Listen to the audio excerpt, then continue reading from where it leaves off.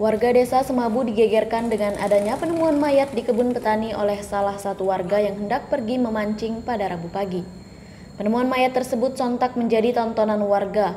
Pihak polisian dalam hal ini Babin Kamtipmas Polsek Tebo Tengah langsung mendatangi TKP. Bersama Babinsa segera membawa mayat ke Rumah Sakit Umum Daerah Muaro Tebo untuk dilakukan autopsi. Dugaan sementara mayat tanpa identitas tersebut merupakan suku anak dalam.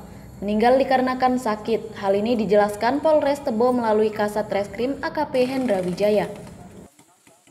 diduga sampai saat ini ya mungkin karena sakit ya Karena sakit. sakit karena posisi dia tuh kalau kita duga sementara dengan pakaian yang digunakan kemungkinan dia tuh orang kubu sedang melaksanakan pekerjaannya sehari-hari beraktivitas mungkin karena posisi dekat sungai menangkap ikan Ah, tapi dari posisi badan dokter juga menyatakan kemungkinan ini sakit pak Dari Jambi, Mas Mulhadi, Tribrata TV, Salam Tribrata.